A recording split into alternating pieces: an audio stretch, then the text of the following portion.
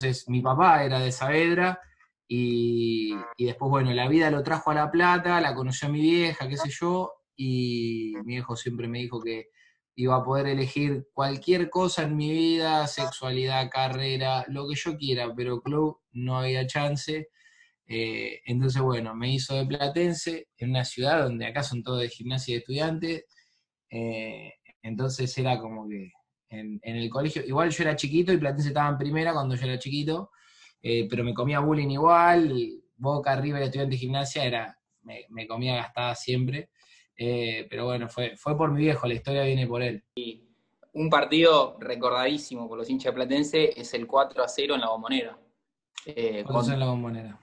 ¿Te acordás de ese partido? ¿Qué, qué recuerdo tenés? Sí, sí, ese partido no me olvido más. eh, yo era chico y, en esa época yo jugaba al fútbol. Y jugaba en el club de enfrente de mi casa. Yo enfrente de, la que era la casa de mi barrio había un club que sigue estando, que es el 19 de febrero. Y yo jugaba infantiles ahí. Y bueno, nada, tenía que jugar la fecha y era de tarde. eh, era uno de los últimos partidos del fin de. eh, no me acuerdo contra quién jugábamos. Y yo me lo perdía el partido porque porque estaba justo jugaba en la bombonera, pero yo tenía que jugar la fecha con mis compañeros, te- tenía, no sé qué edad tenía, era chiquito. Y me acuerdo que mi viejo salía desde la casa al partido a decirme los goles. O sea, me gritaba, me gritaba gol, de- gol, gol del, eh, gol del turco, gol de Espontón, gol de. Yo decía, ¿cómo carajo le metemos cuatro goles a boca en la bombonera? Lo peor de todo fue que se plantela al año siguiente se fue, se fue al descenso. Eso fue lo más loco de todo. Ahí le hiciste bullying vos a, a tus amigos de Boca. No, la gastada, la gastada que, que le pegué a los de boca. Porque aparte yo soy un chabón que no le gusta, que, lo, que no le gusta gastar. Más vos fijate, yo con toda la espina que tuve de, de lo que pasó en este campeonato, nunca, nunca publiqué nada contra la gente de estudiantes de Río Cuarto. Yo siempre festejando, sí denuncié cuando pasó lo que todos saben que pasó, que fue el acto de corrupción de haberle puesto plata a Agropecuario y fueron todo para atrás. Eh, eso sí lo denuncié, pero no me la agarro con la gente, yo me la agarro con los dirigentes que, que hacen que el fútbol sea un asco. Después de todo este, de, de todo este recorrido y, y esto que me vas contando también, de los descensos, de, de Platense, todo lo que les tocó vivir en estos últimos años, ¿qué te genera a vos el hecho de saber que ahora van a jugar en primera? Y yo creo que en su momento uno decía qué categorías de mierda, sufríamos, padecíamos, perdíamos una final, no entrábamos un reducido. Y vos decís qué cagada, pero después cuando llega el premio de haber ascendido a primera como ascendió este equipo que, le debe muchísimo a la dirigencia, Platense creo que todo esto que logró es gracias a la dirigencia, más allá de que tenemos un plantel increíble. Eh, yo creo que... mm, Ah, ya, ya- me perdí, boludo. Ah, lo de volver a primera. Entonces, creo que, que haberlo vivido de esta manera tiene un gusto, pero increíble. O sea, yo no, no puedo describir lo que fue vivir los dos ascensos. Y esta, esta pandemia, bueno, nos cortó el, el- más lindo de todo, pero yo en cancha de Lanús contra Estudiante de Buenos Aires lo viví íntegro, en festejos, era una locura. Fueron dos días de festejo, Saavedra era una locura. Eh, y haberlo vivido, siempre tenemos que llegar así, porque si vos te pones a pensar en la B Metropolitana, tendríamos que haber salido campeón y fuimos a jugar a colegiar en una cancha inundada, empatamos 0 a 0, estudiantes gana, nos obliga a ir a una final en una cancha neutra, Lanús lloviendo, los jugadores platenses llegan una hora tarde por el tráfico, el partido suspendido una hora, mientras nos empapábamos en la cancha, final, eh, alargue, que nunca se ve un alargue en la B metropolitana, que vos lo ves en, ves en Europa un alargue, todos acalambrados, selecciones mundiales, jugando 122, todo acalambrado, acá lo estaban haciendo con jugadores de la B metro. Ganamos, ganamos, salimos campeones. Llegamos a esta instancia, nos cagan, no podemos jugar la final. Tenemos que ganar un reducido y sufrir hasta el último momento con penales. O sea, entiendo, a nadie le gusta el hecho de sufrirlo, pero cuando ganas y sufriste tanto, es como, es, es algo increíble, es como una, es como la adrenalina del que le gustan los deportes extremos, supongo. Yo no sé, algo de eso tiene que tener, porque eh, ese placer de sufrir que te da, que te da Platense no, no te lo da nadie. Y la satisfacción aparte de, que te genera el hecho de saber que lo sufriste tanto que una vez que conseguís eso que buscabas, es, es doble el mérito, ¿no? Y Totalmente.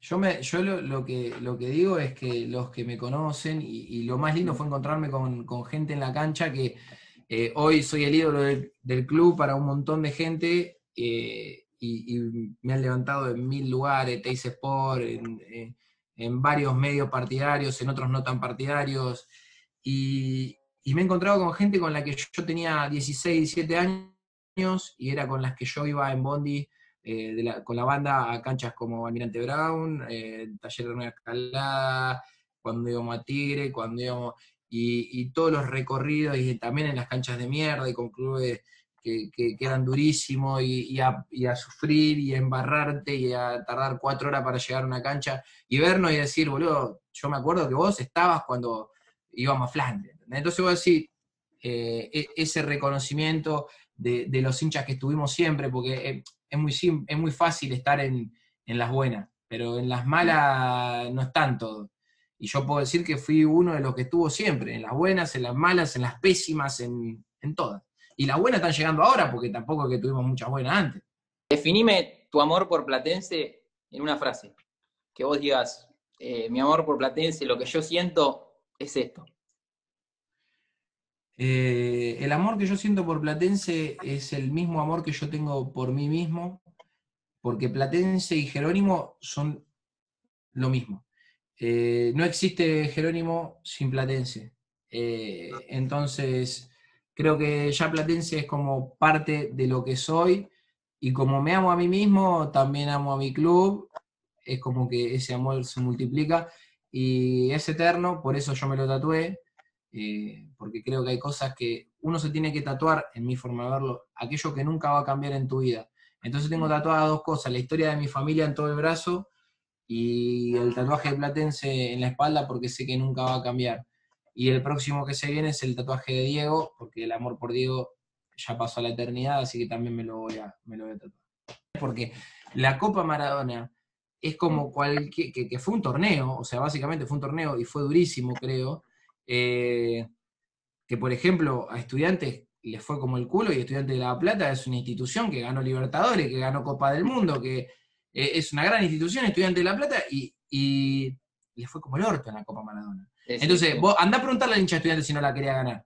Y anda a preguntarle al hincha de Boca qué pasaba si no la ganaba. Porque ahora con el diario Luna, habiendo ganado la Copa, todos nos quejaban, ah, esa Copa no la quería ganar. Ahora, si Boca perdía o no llegaba ni siquiera a, a instancia de playoff, ¿Sabes lo que hacían? Los puteaban a todos, pedían la renuncia del presidente. Y, claro, ahora salimos campeones y nos quejamos. Bueno, no hay poronga que les venga bien, muchachos. O sea, eh, eso es lo que yo, yo creo que, todos los títulos se festejan, todos los partidos los quiero ganar, todos los clásicos los quiero ganar, quiero ganar todo, yo quiero ganar todo lo que haya. Campeonato bolita, no me importa. Si juega Platense, quiero que gane. Me destruyó a mí. Yo le contaba a la gente que sentía el dolor de haber perdido a mi papá o a mi mamá por una persona que nunca había conocido, que nunca había tocado, que, que vos decís que influyó en tu vida, y sí, directamente no, no, influía en nada, yo tenía que seguir laburando, tenía que seguir comiendo, tenía que seguir entrenando, tenía que seguir streameando, tenía que seguir estudiando, y Diego no cambiaba en nada, pero hay personas que te inspiran y que, y que tocan fibras sensibles de los seres humanos, y hay personas que cambiaron el mundo para siempre y, Diego fue una de esas personas que cambió el mundo para siempre. Eh, entonces para mí se había ido un familiar directo, estuve llorando una semana, que no, cada vez que veía algo de él, cada vez que veía un video, cada vez que lo recordaba, cada vez que veía, hablaba con un amigo, era ponerme a, llorar porque era un dolor enorme. hoy el dolor eh, encima con todo lo que está pasando con esto de Luque y Morla, eh, me parece que, directamente fue un homicidio culposo. Esto, tranquilamente podría entrar en un homicidio culposo. Lo que hicieron con él eh, fue totalmente nefasto. Lo exprimieron todo lo que pudieron, le chuparon la sangre todo lo que pudieron. Hicieron, hicieron mierda para sacarle guita. Y cuando ni siquiera se, encargaron de cuidar la fuente de dinero de ellos, que era afanársela a Maradona, eh, lo dejaron morir. Y te das cuenta en los audios de WhatsApp de, Luque y, en la actitud de Morla de quedarse con una empresa haciéndole firmar a Diego la sociedad. Eh, todo eso que, hay que decirlo también. Eh, creo que, bueno, eh, Diego, para los argentinos debería ser uno de los... El argentino no, no llega a entender que para muchos países del mundo nosotros somos Argentina por Maradona, porque nunca hubieran sabido que es Argentina si no hubieran tenido a Maradona y, creo que muchos argentinos no entienden que él nos representó de la mejor manera que pudo en un montón de aspectos y que él es el ejemplo, el claro ejemplo de que uno puede ser un negro de la villa, ignorante, eh, todo y cumplir el sueño. Es una persona que con todo eso pudo cumplir su sueño, luchó como nadie contra todas las adversidades que puede tener una persona y fue el tipo más influyente para el deporte en la historia del deporte. Nunca va a existir un tipo influyente como Maradona, no, no puede, no va a haber. Creo que eso es Diego.